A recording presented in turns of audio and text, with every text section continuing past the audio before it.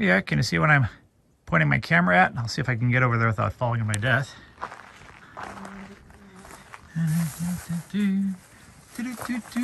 Hello, camera. And what do we have over here? Little pinguicula. They're so cute, aren't they?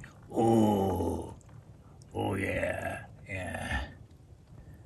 They look harmless, but as Allen Lowrie once once told me when we were looking at some pygmy sundews, they're mean little bastards on their own size. Some little dead bugs on these Pinguicula macroceras. Err. Yeah, there are pings over there. But look at this. This is so cool. I love seeing these. Of course, I really don't know what the hell this is anymore. Um, last I checked, it was Botrychium, but I don't know. I'll have to do some reading up on this to find out what this cute little fern is. Oh, they're so cute. Look at that. Sterile fronds and fertile fronds. I love these guys. Don't you? Hello, invisible camera person. So here I am in Washington State, uh, around 1,200 meters uh, elevation, uh, right at the boundary of uh, King County and Kittitas County. I hope I'm getting the name right. I probably mucked it up. Uh, any event, um, uh, as you saw in the preview, um, looking for Pinguicula, saw Pinguicula macroceras. This is also Drosera territory. I'm going to be looking for some Drosera, seeing what I can find. Um, I don't know if it's going to rain. Actually, um, I'm above the rain. Um, as you can see, we're in the clouds. It's pretty cool. Um, oh, and also along the way, I might I, might run into some Triantha. I don't know. Um, maybe not today, but in the next couple of days, I'm hoping to find Triantha. All right, so wish me luck.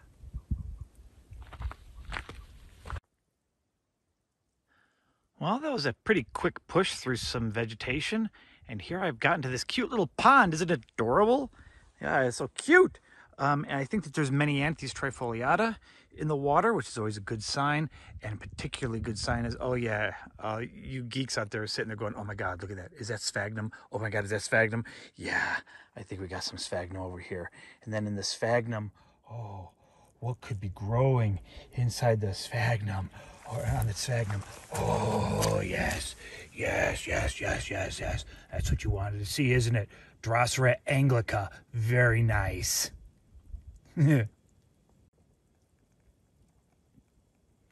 can see late in the season, it's just starting to form a little hibernacula. So cute. Gonna go to sleep soon. Well, okay, so that right away that wasn't very hard. I'm growing in with the um, uh, in the sphagnum with the Menyanthes and the Drosera is this little monocot. You see this little beastie over here? Not that that's Drosera, uh, that's anglica. Don't get confused. Uh, um, this little plant right here with this inflorescence. This is um, uh, pretty dang sure it's Triantha. It's gone by, and you know, usually when I've seen Triantha in the fall, the flowers or the the fruit are really brightly colored. But I guess that this is even washed out beyond that. They're often very very red, um, but these are really pale. Um, and uh, I busted these open, and there are seeds inside.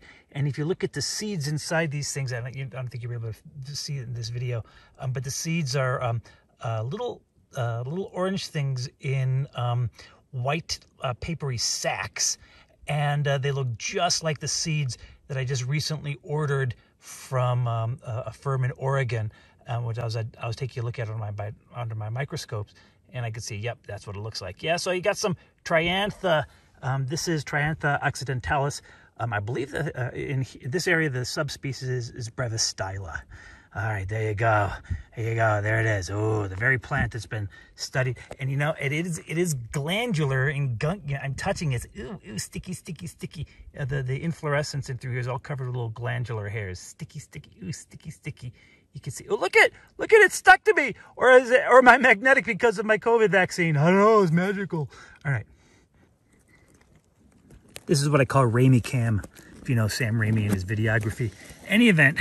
Lots more Drosera anglica. You know, I'm just itching to go out into this muck and go looking for Utricularia out there. But I only have one pair of boots with me, and that's all, and I I don't want to get all mucked up. So unless I see something right right right at the water's edge, the Utricularia in this pond will have to remain a mystery to science. Oh, ooh, more Drosera anglica. Ooh. Yeah, you got it. Lots more Triantha growing along in this sphagnous area. it's really cool. Hmm. You know how many times I've walked past Triantha and I've never Triantha and I've never given a second thought. Just like, eh, cute plant.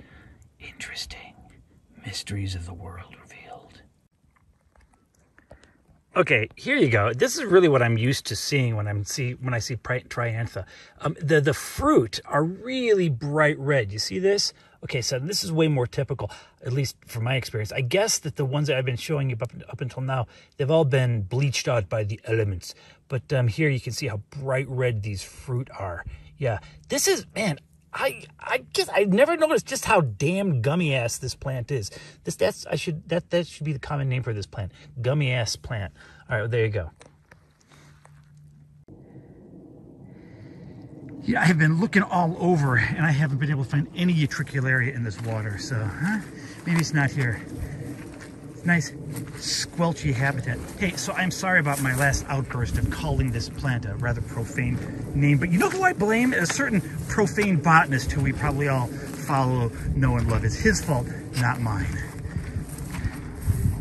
All right, really pretty spot. Well, I'm gonna take uh, some geek photographs and more stuff like that, and then I'm gonna head over to the next site.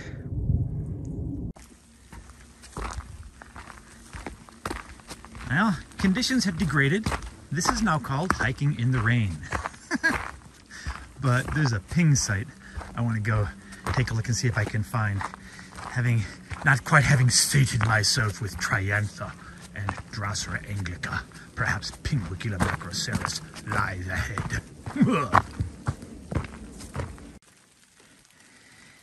Finally, found an orchid.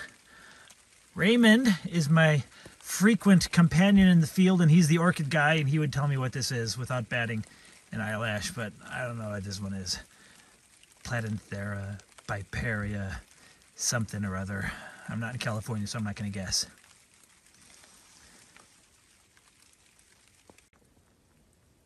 Okay, took my trail, found a little spur trail. It's taking me down to this beautiful clearing in the forest, following a stream. Um, I don't know if you can tell it's still raining, but I'm going to explore this area, see what's in this clearing. Looks quite promising. So here's the uh, stream that goes through the middle of this little field. This is a glade, and sure enough, water's edge in the stream. I don't know if you can see. Oh, there they are. Drosera anglica. There's a lot of Drosera anglica here. Um, some of the really nice fruit. Um, and um, I don't know if you can pick out right at the center. It's kind of, I, I can't, uh, let me see if I can get a closer view for you. Um, there's some more Triantha in fruit. Very nice. the weather's really degrading, so this is probably my last video just to show you. Um, in this field, got uh, a whole bunch of a flower or inflorescences of the Triantha. It's really cute. There's also a couple of flowers here of, uh, of uh, Parnassia. I don't know what species this is, but it's a really adorable little thing. I'm going to find out what this thing is. So cute! All right, any event. All right, have a great day. Cheers.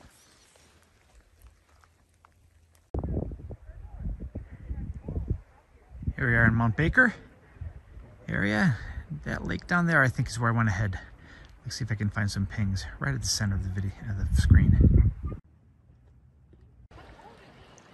So this is really sweet.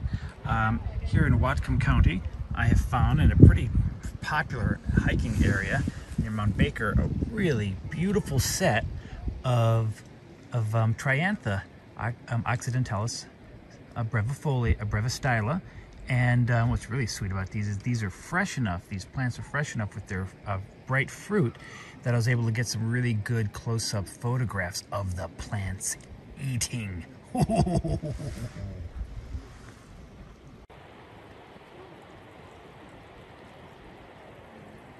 As I had hoped to find on this rock wall, southern exposure seeping with water nicely exposed. Way up there, you can see little Pinguicula macroceras. I don't know if I'm going to be able to get very close to any of them, but there they are. I'm photographing Triantha and Pinguicula on this rocky slope. There's a little bit of wind. I'll show you a little field trick that I'm using. I've got my tripod here, camera set up, and I've got this plant, the Triantha right there, and a little bit of wind, so I've got a sedge stem connecting the tripod at the top of the camera to the triantha. I'm taking photographs just beneath that little stem so it's not going to block the field, uh, get the field of view. Yes, this is a little photo tip. Join my news club and I'll charge you monthly for further photo tips.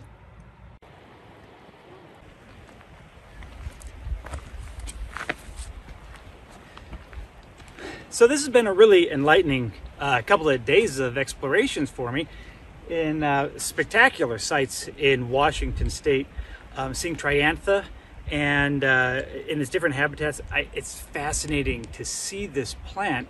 I was I was cautious about really accepting it, thinking it as a carnivorous plant because uh, of momentum of thought.